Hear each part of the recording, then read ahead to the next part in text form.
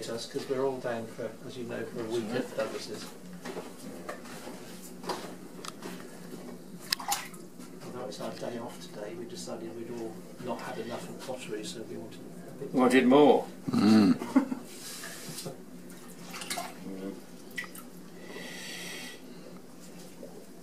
Yeah, it gets to you, doesn't it?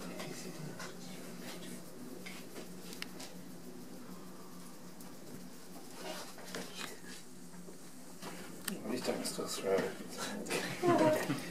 Well, one or two of us that struggle in that department, Mm. me at the head of the list. Do you lose a tiny bit of skill if you haven't done it for a while? I notice.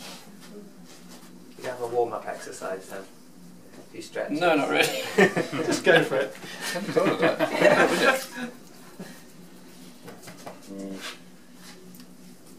Right, look about it. It's, it's when you see people pushing against walls and doing all sorts of strange things, and I think, God, if I did that, I can't kill myself. You know, I can't do that. Yeah. Go straight into a game of badminton.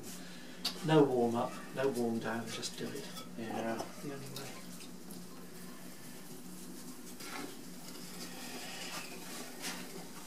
Well, I was watching these golf professionals in the Olympics and they, they warm up for an hour beforehand. You think, God, I'd be knackered. Absolutely. if I did that.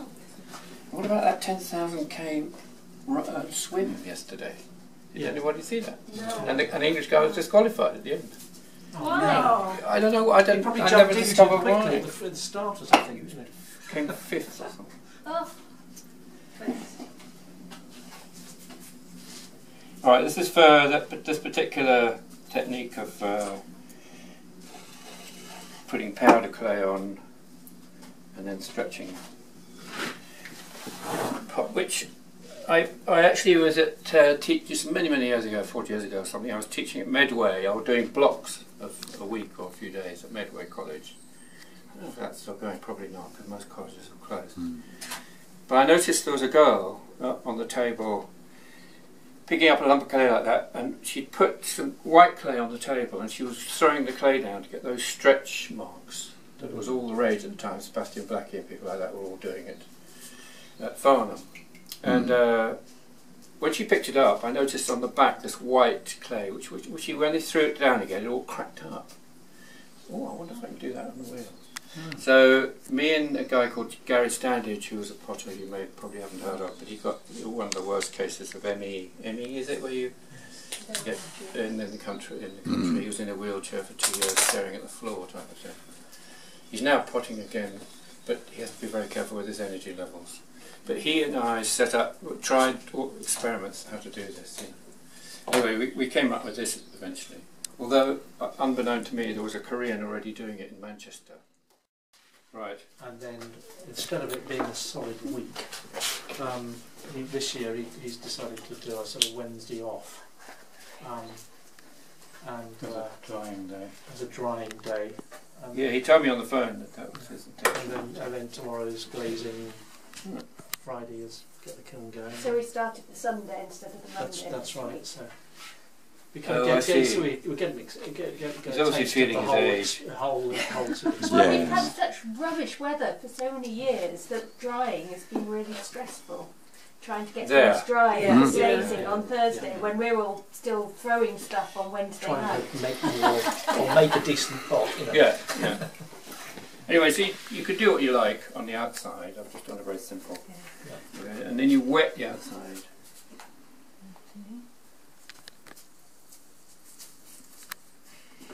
I love the way you just you're doing this of the process. If I, if I'd made the pot that you made, that would have done me quite sufficiently. now, if you put the marks on, that would have done me. But you're still going. That's still going, yeah. Could you hand me that towel, that blue and white one? Sorry, It's blue and white, yeah. Thanks. One thing I've forgotten is a towel. Brilliant, thanks. Gorgeous, isn't it? Yeah, she's a cross greyhound and I think Doberman. Yeah, she's, she's But not I'm not sure. pointy as a She's quite a bullish sort of Hmm. runner. She, she'd do well in races, I reckon. Yes, She'd be yeah, she relatively actually just took off like from the Oh, did she? gate.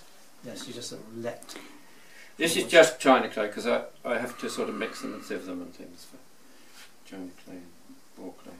I haven't experimented much with the mix. I have tried putting a little bit of feldspar in to get it to stick better, uh, but it tends to fall off. But what was the ratio? Just half and half. Half and half. Ball clay and china clay. Mm. I'm sure there are, you know, you could add a little bit of ochre. Or this is not quite as smooth. It's just ball clay. The thing is not to touch the pot. Keep your hand away, you know, about an Mhm. eighth of an inch from the pot. You take, take plenty of clay in your hand and just sort of. I was kind of expecting you to throw it at the pot. I wondered where, where, No. where that sheet was. so it's uh, No. interesting to see you not do that.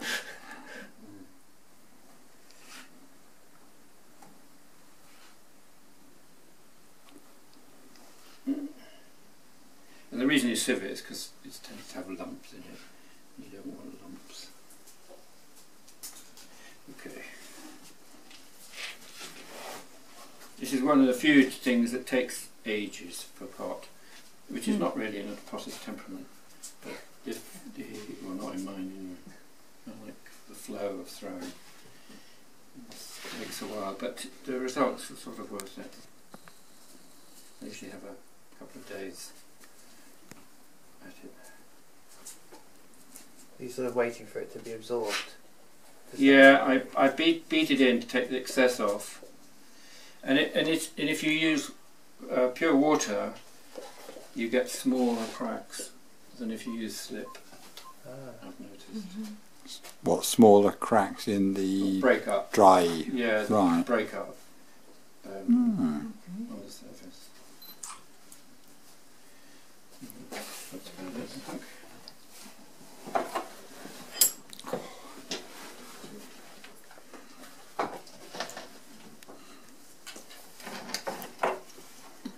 fact, there's china clay, uh, ball clay doesn't matter if it goes into the general mix. See how this turns out.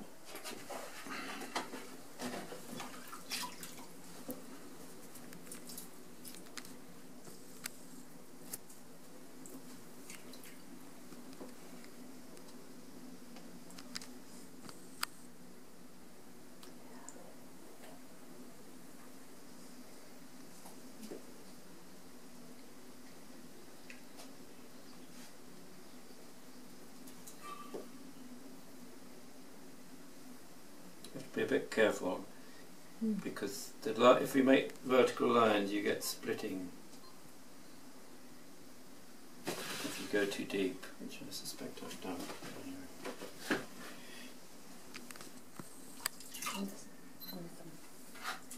The cake is reminiscent of the sodium silicate stuff. Yeah, I think the sodium silicate cracking is is, is different in character. It doesn't involve any clay, does it? No. just try and extend this as far as I can without it splitting. It won't be long.